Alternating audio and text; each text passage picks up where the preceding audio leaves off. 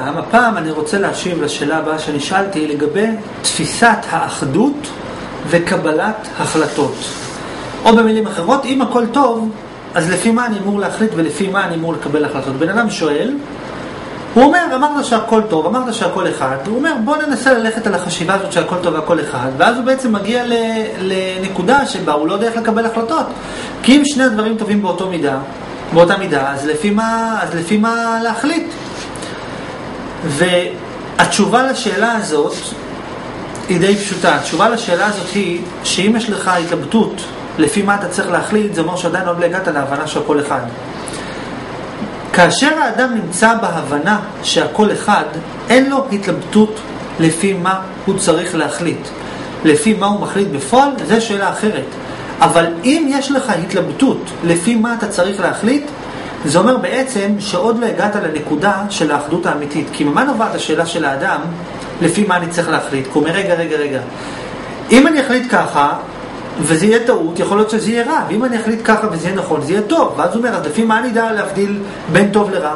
אבל אם באמת האדם היה מגיע מתוכו להבנה שהכל טוב, לא היה לו שאלה לפי מה להחליט. למשל, למה הדבר דומה? לבן אדם שיש לו ביד שני שקלים, יש לו שקל ושקל, והוא עכשיו צריך לשלם שקל. לפי מה הוא מחליט איזה שקל לשלם? לפי מה הוא מחליט? איך הוא מקבל את ההחלטה?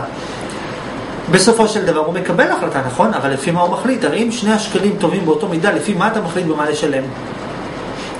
בקיצור, מה שאני בא להגיד, שאף אחד, כשהוא חווה אחדות מלאה, הוא לא נמצא בבעיה מכך שאין לו לפי מה להחליט. זאת אומרת, כשאדם אומר, השקל הזה והשקל הזה, שניהם טובים באותו מידה, הוא לא אה, אומר רגע אחד, אם שניהם טובים באותה מידה, לפי מה אני אדע להחליט? הוא אומר, מה, זה לא משנה, אני אחליט ככה, אני אחליט ככה, שניהם טובים באותה מידה.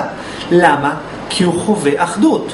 כי הוא באמת חווה שאין הבדל בין המטבע הזה למטבע הזה. וממילא זה לא משנה במה אני אשלם.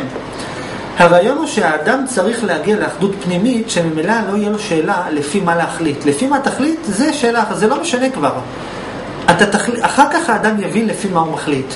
אבל הוא שאדם, אם יש לאדם שאלה לפי מה הוא צריך להחליט, זה אומר שאדם לא יגיע לאחדות. ומאיפה נובעת הבעיה? הבעיה של האדם נובעת מכך שהוא חי באמונה. יש לאדם אמונה. האדם הלך לאיזה הרצאה, שמע איזה משהו, אמרו לו, תקשיב, אם תחשוב שהכל אחד, יהיה לך טוב. אז הוא אומר, יאללה, מעכשיו אני אחשוב שהכל אחד. אבל האדם הוא שקרן, למה הוא שקרן? כי הוא לא באמת מרגיש שהכל אחד. אם אתה צריך להגיד לעצמך שהכל אחד, זה אומר שאתה לא מרגיש שהכל אחד. כי אם הכל אחד, אף אחד לא אומר לעצמו, היד הזאת היא אחת. ברור שהיד הזאת היא אחת. מה, אתה רואה פה שלוש ידיים שאתה צריך להגיד היד הזאת היא אחת? לא, ברור שזה אחד. מה, וכי מה חשבת? אתה לא צריך להסתכל על תפוח אחד ולהגיד זה תפוח אחד. ברור שזה תפוח אחד. מתי אתה צריך להגיד זה אחד? כשיש לך עשרה תפוחים ואתה עכשיו משקר, אתה אומר לא, הם אחד. עכשיו, אם האדם צריך להגיד לעצמו שזה אחד, אם הוא צריך לשכנע את עצמו שזה אחד, אם הוא צריך להסגיר לעצמו שזה טוב, הוא עדיין רחוק מהאמת. כי האמת צריכה לבוא מתוכך. אם אתה צריך לנסות לשכנע את עצמך שזה אחד, אם אתה צריך לנסות לשכנע את עצמך שזה טוב, או שזה לטובה, או שמה שבא לך, או כל שקר אחר, או שזה חיובי, או שזה חצי כוס מלאה, או כל אה, שקר אחר, זה אומר שהאדם עדיין לא נמצא באמת, וממילא יש לו את ההתלבטות לגבי מה להחליט. כי ההתלבטות, הקושי של האדם לקבל החלטות בחיים, והצרה הכי גדולה של האדם זה שהוא לא מסוגל לקבל החלטה, כי אז הוא נמצא בדרמה מאוד רצינית, כי הוא אומר, רגע אחד, איך אני אחליט? אני צריך להחליט ככה או ככה, מה יהיה? ואדם בחרדה רצינית, חרדה קיומית, שהוא לא יודע מה להחליט. מה להחליט? איך לקבל החלטה? אבל ממה נובע הלחץ של האדם שהוא לא מסוגל לקבל החלטה? מכך שהוא בטוח שיש טוב ושיש רע, ואז הוא אומר, איך אני אדע מה להחליט? אני צריך לדעת מה זה טוב ומה זה רע, כדי שחס וחלילה לא יקרה לי שום דבר רע. אבל אם האדם באמת היה בהשתוות אמיתית שמבחינתו הטוב והרע היו ישות אחת, ממילא הוא לא היה לחוץ כשהוא לא יודע להחליט. אתה לא יודע להחליט, אתה לא יודע להחליט, לא קרה שום דבר, מה הלחץ? מי בכלל אמר שאתה חייב להחליט? נגיד שאתה צריך ללכת ימינה וצריך ללכת שמאלה, ואין לך מושג, שניהם טובים באותו מידה. אז א', אתה יכול סתם לעשות את סופלי, תחליט ימינה או שמאלה. ואם אין לך מושג, אם אתה אומר, לא, אני רוצה בכל זאת לקבל איזו החלטה שקולה, ואין לך מושג איך לקבל החלטה, זה בסדר גמור גם לא להחליט. מה אתה כל כך לחוץ מכך שאתה לא מסוגל להחליט? בן אדם אומר, לא, אבל זה עניין קריטי, זה עניין של חיים ומוות. צריך לדעת להחליט, לעשות ככה או לא לעשות ככה, זה חיים ומוות.